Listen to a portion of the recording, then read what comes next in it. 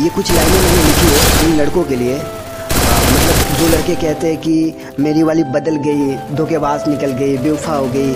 सो उसी पर मैंने कुछ लाइनें लिखी है कि उसे बेवफा ना कहो यारो। कि उसे बेवफा ना कहो यारो। उसने भी एक बेटी होने का फ़र्ज़ निभाया है। कि उसे बेवफा ना कहो यारो।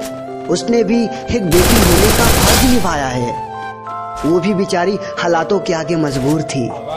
कि वो भी बेचारी हालातों के आगे मजबूर थी करती तो करती क्या? उसे भी तो अपने माँ बाप का इज़्ज़त बचाना था, यारो।